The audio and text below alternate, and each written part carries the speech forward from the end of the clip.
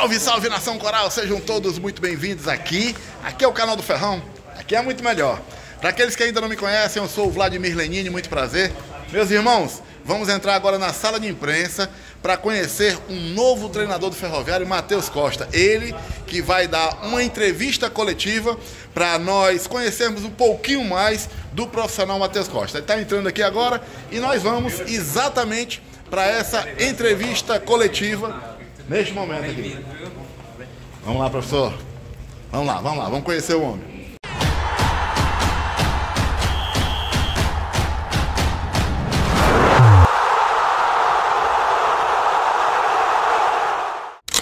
Boa tarde a todos. né?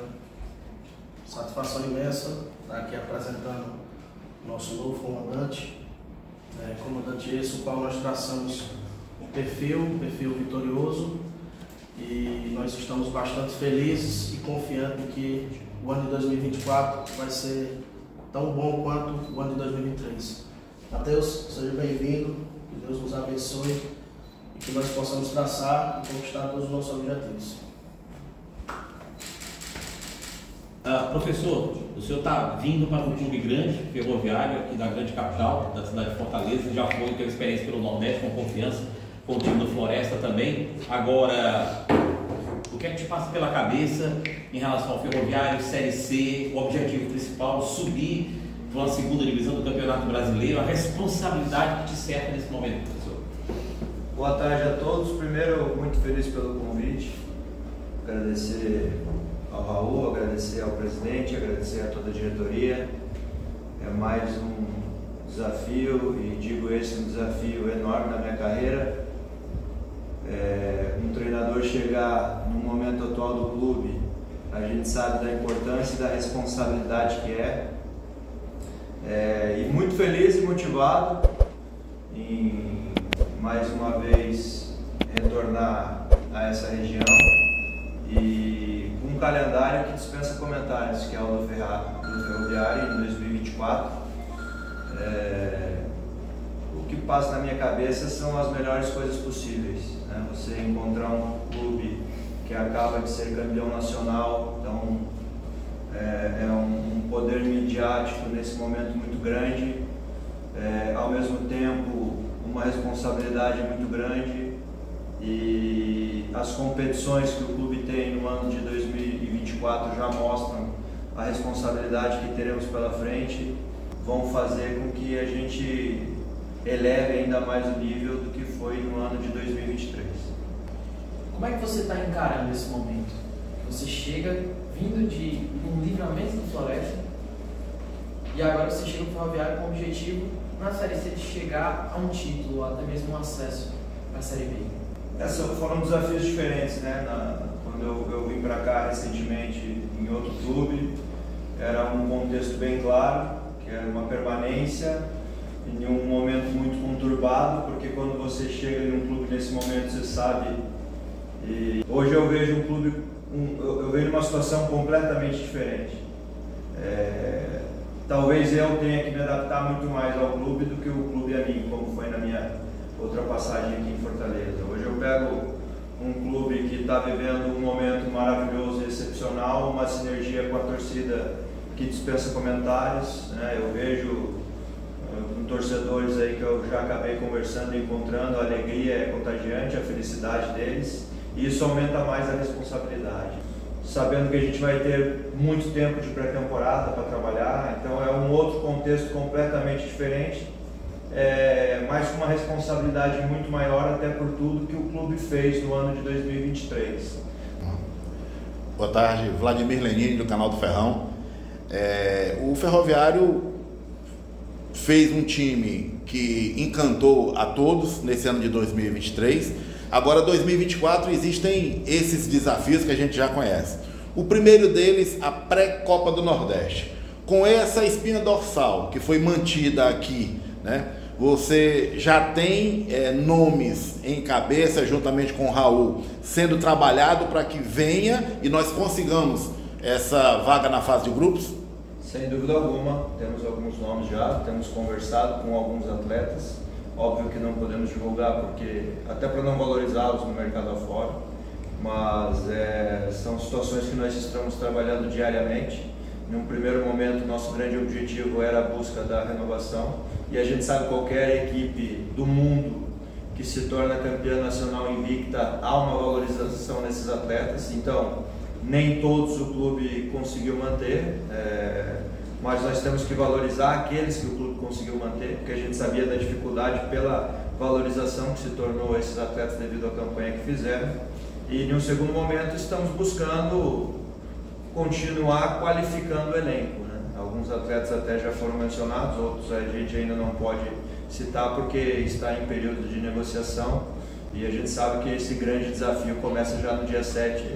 Acredito que na primeira ou segunda semana de janeiro, nessa pré-Copa do Nordeste, que é o nosso primeiro grande objetivo, entrar na fase de grupos da Copa do Nordeste, não só pela, pela pela competição em si, que é um glamour especial, onde eu já tive a oportunidade de disputar, mas também todo o poderio financeiro que pode trazer para o clube. E isso vai nos fortalecer ainda mais para o nosso calendário de 2024. Queria saber como é que foi seu primeiro contato com o Ferroviário, com a sua contratação, o que é que decidiu você ouvir é, trabalhar no Ferroviário? Certo. É, foram as melhores possíveis, muito feliz. Em, a gente sabe toda a história, todo o peso de trabalhar no ferroviário e hoje eu sou um privilegiado de ter recebido este convite e não tive dúvida alguma em aceitar, é, não só pelo momento do mas também por toda a sua história. Então... Professor, você acompanhou a série, a série D, né? o acesso ferroviário, o jogo ferroviário, essa campanha épica. A minha pergunta é, se você pudesse ficar com alguns dos jogadores que foram embora não acertaram contratos. Você ficaria com quem? É muito difícil assim quando você não está realmente no dia a dia, você elencar é, a importância de cada atleta que acabou não ficando no clube. É, é uma forma muito subjetiva eu de fora falando. É, agora eu parabenizo o clube e aqueles atletas que conseguiram, que o clube conseguiu fazer permanecer, porque são jogadores que foram de fundamental importância é, para essa campanha e cabe a nós agora ter a capacidade daqueles atletas que acabou não ficando, a gente conseguir repor a mesma altura. Bom, professor, a gente falou aqui sobre o, a Copa do Nordeste, que é o primeiro desafio, mas nós temos quase que paralelo a isso, o campeonato cearense, onde o Ferroviário está quase três décadas sem conquistá-lo. O torcedor está ávido por ter um momento de, de vibrar com o título.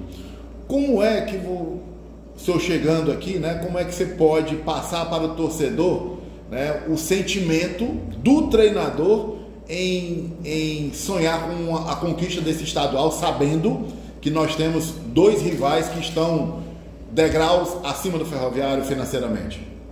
É, sem dúvida, são dois grandes adversários. É, acho que temos que ter todo o respeito por eles, por tudo que eles vêm construindo nesses últimos anos. É, agora a gente não pode esquecer quem é o ferroviário. E, e quando chega nesse nível de jogo entre grandes equipes que têm todos a sua história, é, eu acredito que dentro de campo são 11 contra 11 e, óbvio, respeitando muito todos os nossos adversários, independentemente do, do poder de expressão desse adversário, a gente tem que fazer o nosso melhor para a gente ter as nossas conquistas. É, então, o que o torcedor pode esperar é muito trabalho e, e, e é muita convicção de que a gente pode ter condições de, de ter grandes conquistas aqui, como o clube demonstrou nesse ano. É, então, é mais um motivo da minha vinda você vir para um clube que tem uma torcida maravilhosa. Eu pude acompanhar a final pela televisão e ouvir o show e a festa que eles fizeram. Então, quando você chega nesses momentos, se Deus quiser, nós vamos ter essas oportunidades aqui no Ferroviário e a gente possa contar com o nosso torcedor nesses momentos, a gente se torna ainda maior nessas partidas. Então é isso que a gente almeja, é esse trabalho muito forte para a gente iniciar muito bem a pré-copa do Nordeste com, com a entrada realmente nela. E o estadual a gente sabe que é, é, é uma competição à parte e, e, é dois momentos. Primeiro, a fase classificatória, que a gente tem que buscar a melhor situação possível, e depois um mata-mata, que é uma competição separada, é um momento diferente, é, é, um jogo que tudo pode ser decidido, então a gente tem que estar altamente concentrado e preparado para esses tipos de situações que a gente tem durante a temporada. É. Pedro Breno, da Rádio Jovem Pan, ele pergunta como é que o senhor gosta de ver sua equipe jogar e o que, é que dá para ser aproveitado nesse ano de 2023? Eu gostava muito do, da fome do, do, do, Ferroviário a todo momento de querer fazer gols. Era uma equipe que criava muitas situações. É... Tem um atleta que sabe fazer gol que dispensa comentários, que chama a atenção do Brasil inteiro. E isso é muito difícil hoje em dia no Brasil.